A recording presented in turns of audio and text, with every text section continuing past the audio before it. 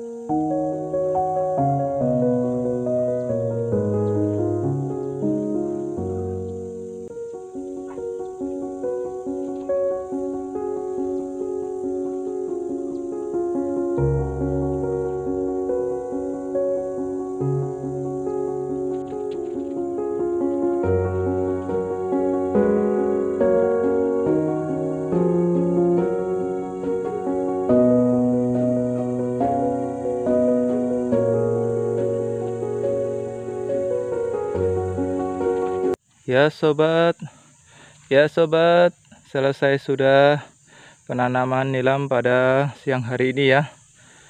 Ini dan nampaknya terdengar gemur hujan sangat deras ya sobat ya.